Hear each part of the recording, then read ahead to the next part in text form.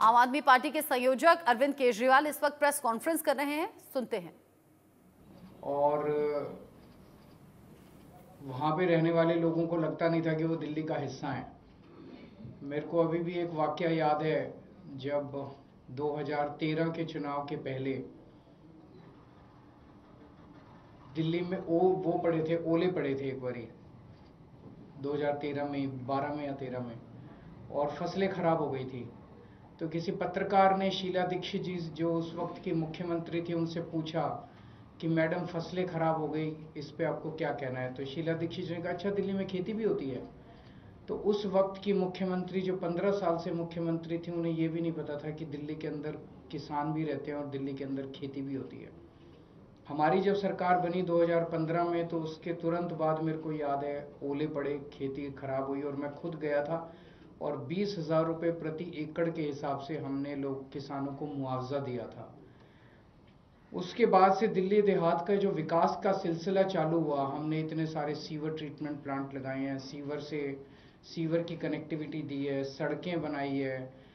सबसे बड़ा डिमांड जब मैं जाता था, उनकी होती थी, भाई स्कूल नहीं है, स्कूल बहुत शानदार बनाए हैं वहाँ पे।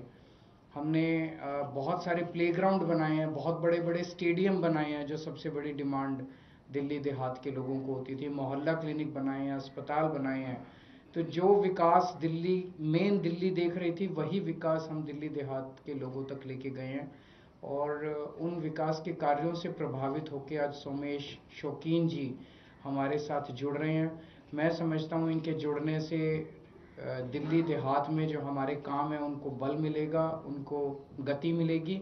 और ओवरऑल दिल्ली में आम आदमी पार्टी को एक बहुत बड़ी ताकत मिलेगी। तो मैं उनका तहे दिल से स्वागत करता हूँ। उनकी वो फ्री हैं जहाँ मर्ज़ी जो मुझे स्वागत कर थैंक यू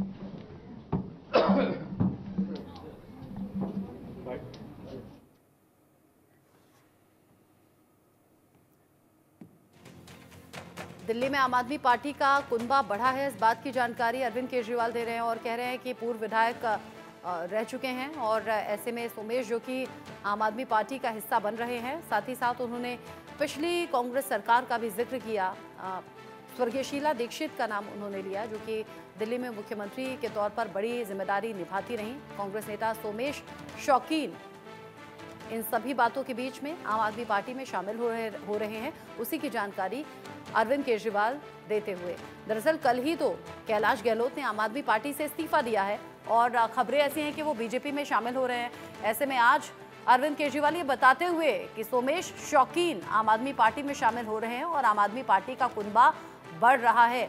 ये स्ट्रैटेजी वाइज भी हो सकता है कि कल कैलाश गहलोत ने पार्टी छोड़ी है और आज सोमेश शौकीन आम आदमी पार्टी में शामिल हो रहे हैं कांग्रेस छोड़कर।